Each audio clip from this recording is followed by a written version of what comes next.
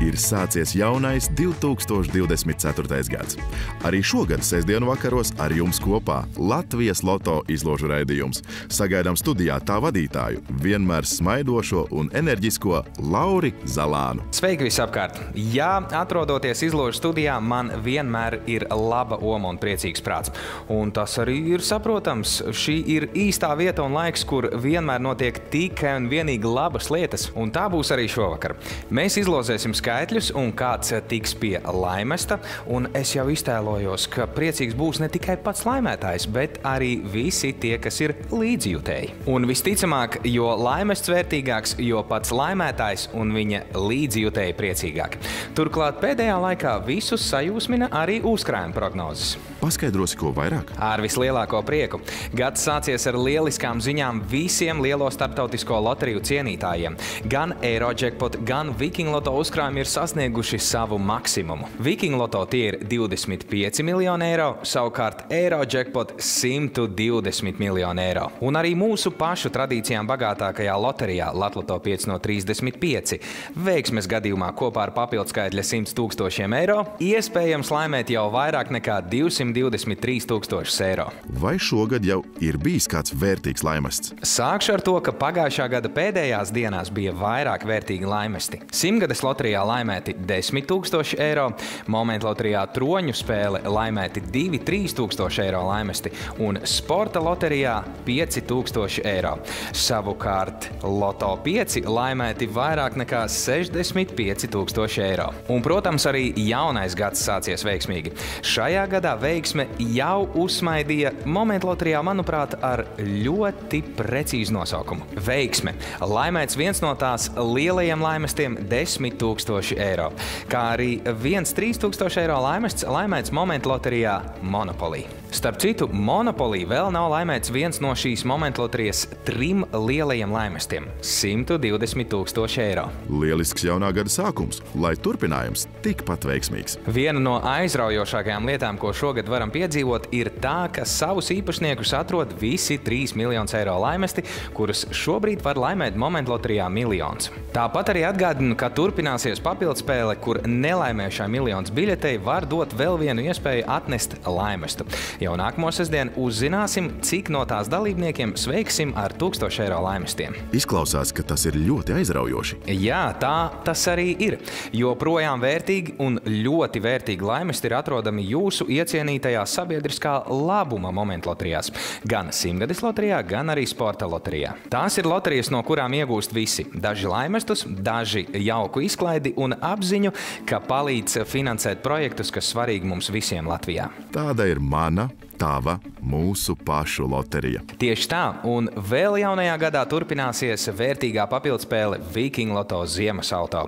Jau nākamās trešdienas vakarā uzzināsim gan 2000 eiro laimētājus, gan 7. finālistu. Bet 23. februāra lielā fināla izlozē mēs uzzināsim, kurš no 13 finālistiem turpmāk brauks ar jauno un eleganto auto, un kuriem tiks vērtīgie naudas laimesti. Bet jau tūlīt palūkosimies, kādi notikumi risinājās vakardienas Eirojackpot izlozē. Aiziet! Uzkrājuma prognoze 5. janvāra Eirojackpot izlozē bija 120 miljoni eiro. Šoreiz tika izlozēti šādi skaitļi. 11, 30, 32, 45, 47 un papildskaitļi šoreiz ir 3 un 10. Šobrīd jūs ekrānā redzat, pie kādiem laimestiem ir tikuši vakardienas Eirojackpot izlozes spēlētāji. Cik daudz naudas būs iespējams laimēt 9. janvāra Eirojackpot izlozē? Arī nākamās otrdienas vakarā uzkrājums ir maksimāli vērtīgākais - 120 miljoni eiro. Esam visu sagatavojuši šī vakara Jokers izlozēji. Un jūs, cerams, esat sagatavojuši savas skaitļu izložu kvītis ar atzīmētu dalību Jokers.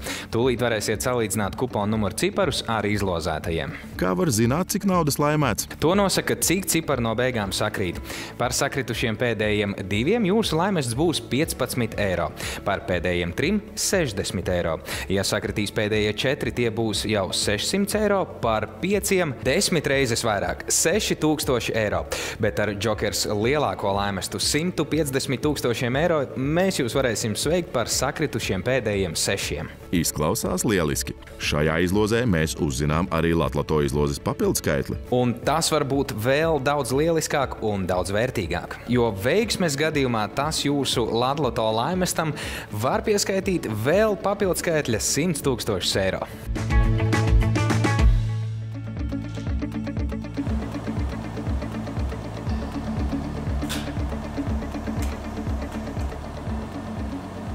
Džokers pirmais cipars 9, otrais 8, trešais 7, ceturtais 1, piektais 9 un sestais, kas ir arī papildus skaitlis, 0. Papildspēlē Džokers laimējuši kuponu numuru cipari 98, 71, 90. Kad papildskaitlis zināms, ir īstais brīdis Latvijas 5 no 35 izlozēji. Arī Latvijas izloze ir viena no tām, kuras uzkrājums iepriecina un pārsteidz. Un tas viss tādēļ, ka jau ilgāku laiku nevienam nav izdevies uzminēt visus piecus Latvijas skaitļus. Un tāpēc ar prieku un neslēptu lepnumu paziņoju, ka šovakar Latvijas uzkrājums ir jau vairāk nekā 123 tūkstoši eiro. Nu, ļoti vērtīga izloze, bet tas jau vēl nav viss. Nav gan. Ja sakrituši visi pieci skaitļi, tad ar satraukumā pukstošu sirdi jāsteidz salīdzināt arī papildu skaitlis. Un tas būs norādīts jūsu Latvijas kvītī arī tad, ja Jokers šovakar nemaz nav spēlēts. Un ja šī tiešām būs jūsu veiksmes diena un sakritīs arī tas, būs laimēts vareni vērtīgais lielais laimes 223 700 eiro. Sākam!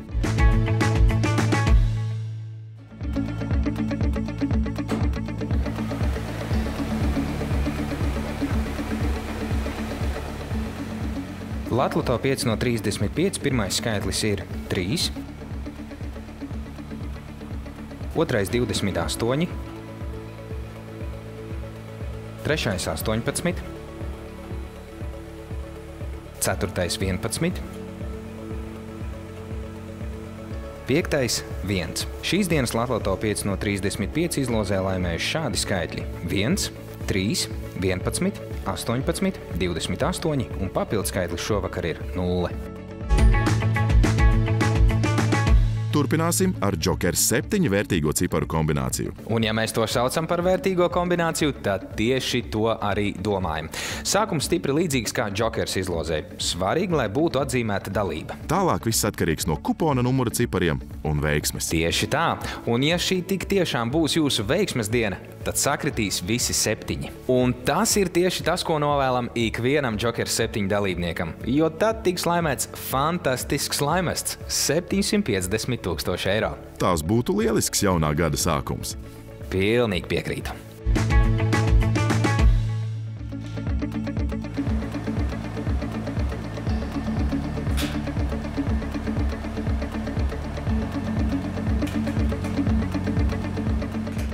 Jokers 7, pirmais cipars 1, otrais 1, trešais 6, ceturtais 8, piektais 8, sestais 1, septītais 8.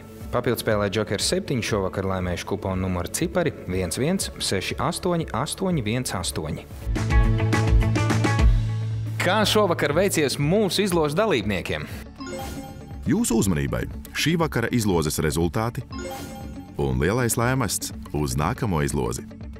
Lauri, domāju, ka šovakar visu esam paveikuši. Tā domāju arī es. Varētu pat teikt, ka pilnīgi droši to zinu. Veiksmīgie skaitļi izlozēti un nosaukti, uzkrājuma prognozes noskaidrotas. Ceru, ka jums visiem ir bijusi jauka un veiksmīga šī 2024. gada pirmā nedēļa. Un jūs jau zinat, kā mēdz teikt, kā gadu iesāksi, tā to arī pavadīsi. Lai izdevušās brīvdienas!